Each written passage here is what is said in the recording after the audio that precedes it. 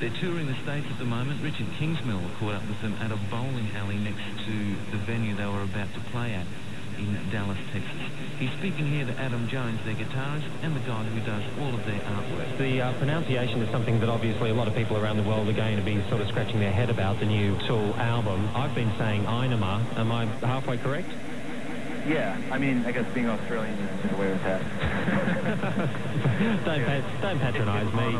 It's anima. It's anima, is it? Anima. What's it mean? It's um, a basic philosophy of uh, maybe uh, the end of the world or the end of what's going on in our world and evolving because of that, stepping up. You know, like like we're we're not evolving.